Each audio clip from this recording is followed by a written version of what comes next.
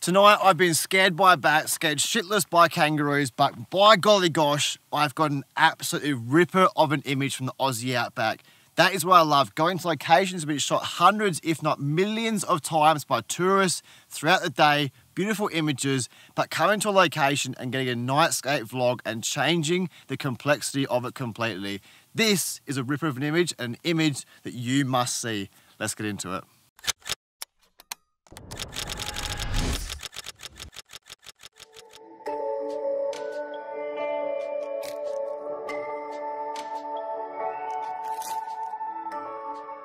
G'day, you play legends. Thank you for joining me for another nightscape photography vlog at an iconic Aussie outback location. We've got clouds rolling through that a blank canvas that we want to paint light up the sky and get Mickey Mouse images. If this works out tonight, it will be a bloody game changer because I've never seen this particular image shot at night, even though it's been shot by hundreds, if not millions of people throughout the day already. So that is what I love about photography, getting something that's already been done and changing it completely. And what's even better is tomorrow morning, I'll be back at this location to photograph the way it should be photographed. A panoramic sunrise that's gonna be absolutely ripper. So make sure before we get into this vlog to drop below and subscribe because there's still plenty more content to come from the Aussie Outback in Wilpena. Right, shut up, let's get into it.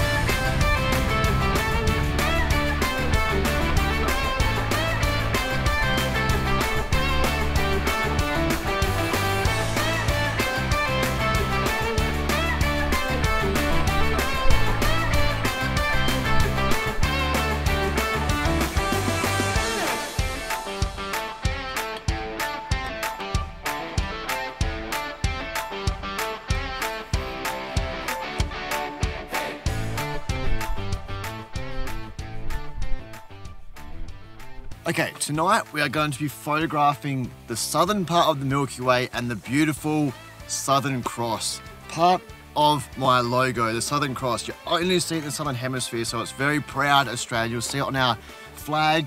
It's a national icon. So tonight I want to photograph it. We're also photographing an iconic view.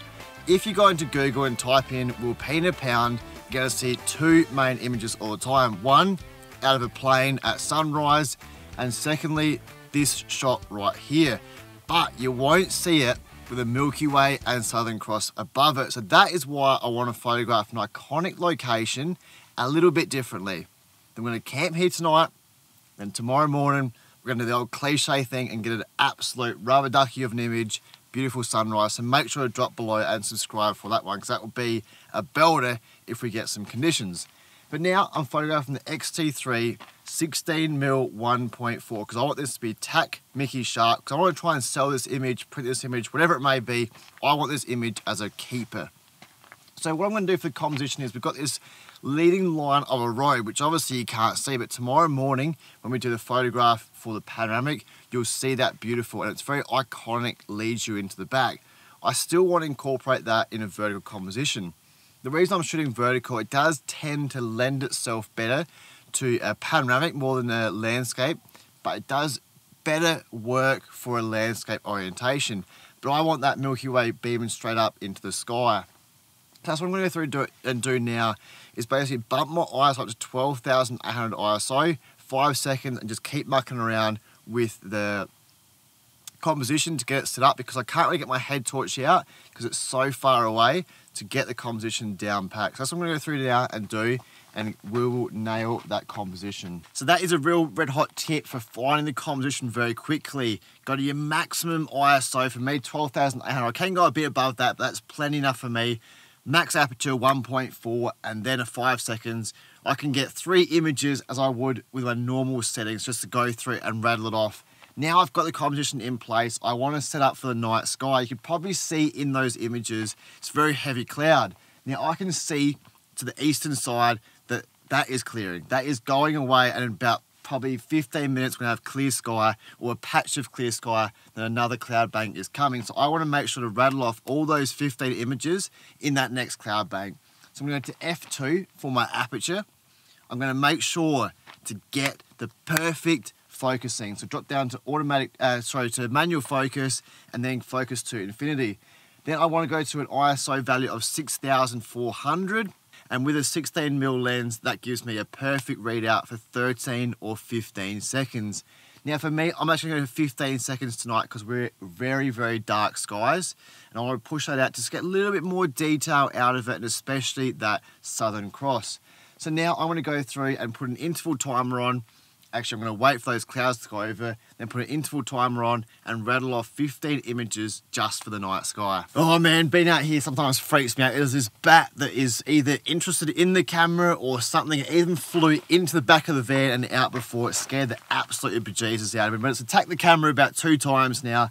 It's either wanting to mate with it or it thinks it's an enemy and wants to attack it. But it's scaring the bejesus out of me. Bugger off. I don't want to be out here by myself. It's scary enough as it is.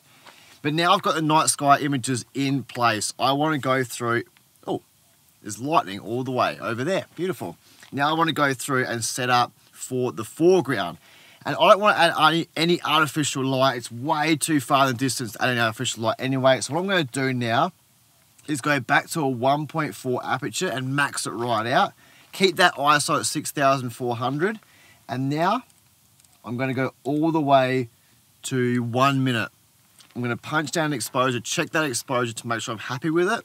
Now that's going to depend a lot on if there's cloud bank across the Milky Way, it's going to make it quite a bit darker. So if the cloud does get in time for that, I'm getting those 15 images, the first image is going to be brighter than the last image. So I have to make sure I'm getting that segment perfect in between the clouds or fully with the clouds. And if it's with the clouds, probably have to go to a two minute exposure or maybe even longer. So I might wait for that cloud to go across and get the next clear sky that comes through and get the foreground image for that.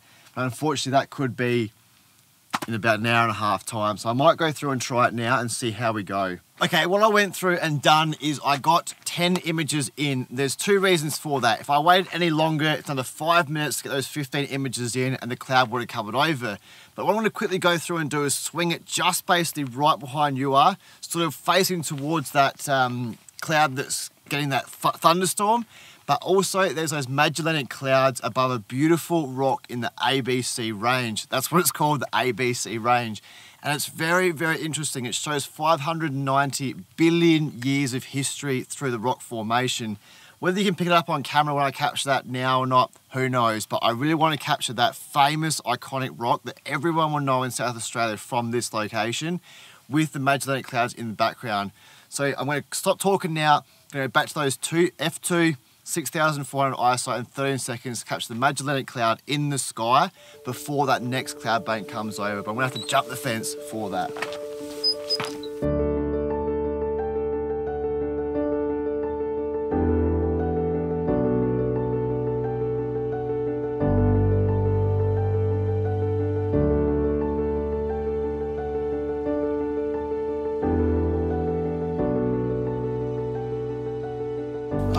Bloody hell, now those kangaroos hopping around and every time they jump, they bloody slap their tail on the ground because they're sort of scared themselves and it scares the bejesus out of me. And I'm not really that scared of things out here in the desert, but I just think it's because I'm in the middle of absolute nowhere. If something happens to me, I'm donkey's years from anything and probably dead and it just scares me a little bit, all right? Bloody just a kangaroo. But this way, photographing the Magellanic Clouds is a bit lucky because Right behind me, we've got Venus. It's the third brightest thing in the sky, as we've learnt already, lighting up this foreground. So that actually helps me out a lot. It's only a small planet, but it adds a huge dynamic to the foreground element. Just the tiniest little bits of light in the sky makes an absolute abundance of difference when you're photographing that. So back to those settings, f1.4, 6400 ISO. I'm actually going to drop down to about 50 or 40 seconds because of that. I think 50 seconds will be all right. Get another 10 images and that should do me because that cloud's coming through and I'm just getting a little bit more wind right now and that's sort of generally because the front's coming through. So now intervalometer, interval velometer, and crack them on right now. Alrighty, it's starting to get a little bit late, a little bit cold, and I don't want to deplenish my battery life too much. So I've still got three days left of camping before I can really charge those batteries back up. Plus, I have to be up in about six hours to photograph this rip of a place once again. So make sure to drop below and subscribe for that. Before I leave you with this final image that I've captured, I just want to say if you are struggling to learn night photography, landscape photography, I will leave a link for my membership course down below, $9.99. Plus you get all the benefits, the monthly giveaways, the weekly tips and tricks to help you out along the way to evolve your landscape and night photography. So if that does interest you, there'll be a link for that in the description below. As I said, make sure to join me tomorrow morning to capture this beautiful place with an absolute epic sunrise fingers crossed. But I'll leave you with this final image. Get out there, keep creating, keep inspiring. I'll see you in the morning. Ciao.